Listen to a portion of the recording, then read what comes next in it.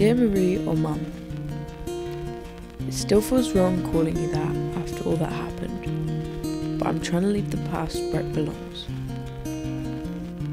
I don't want to hold on to those memories anymore or live in these conditions.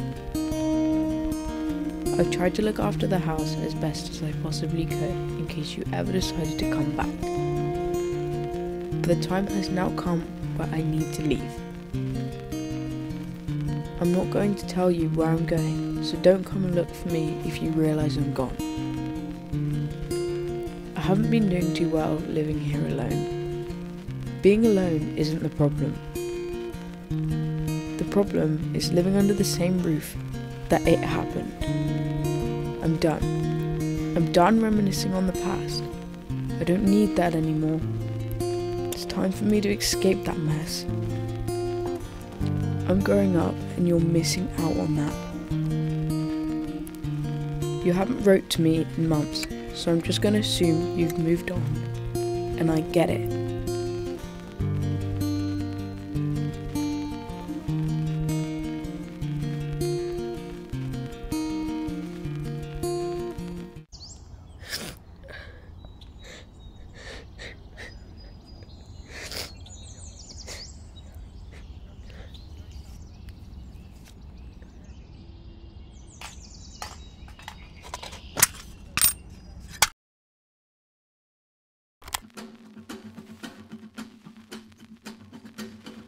One, two, one, two, three, four. You forgot to cancel the Hightail magazine subscription, so I'm telling you in this letter, hence you're wasting any more money on it.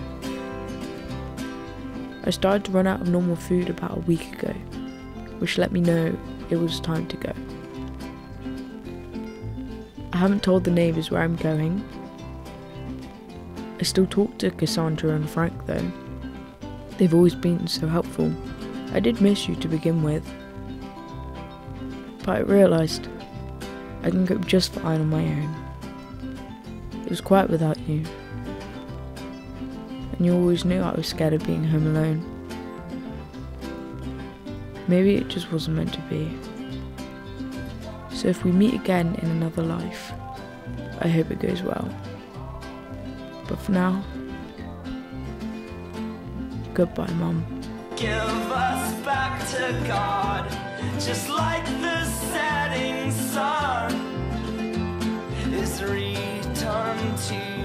lonesome ocean.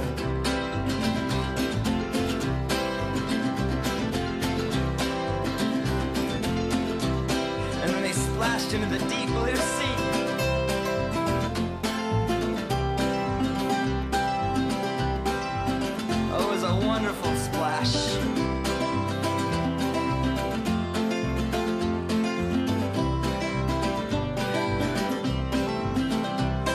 Blend into the choir, sing ecstatic with the whole. Must memorize nine numbers and deny we have a soul. Into this endless race for property and privilege to be won. We must run, we must run, we must run. We must hang up in the belfry where the bats and moonlight laugh. We must stare into a crystal ball and only see the past. Into the